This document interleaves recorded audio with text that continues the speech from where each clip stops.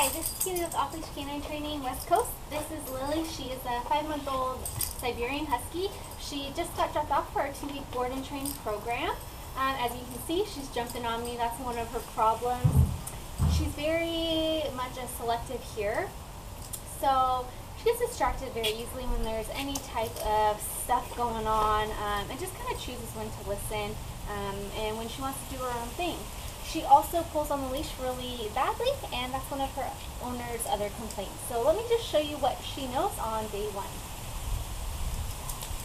Lilly, sit. Lilly, sit. Lilly, sit.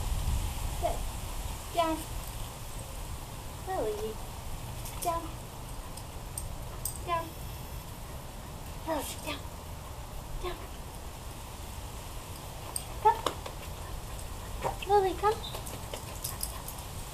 Thank you.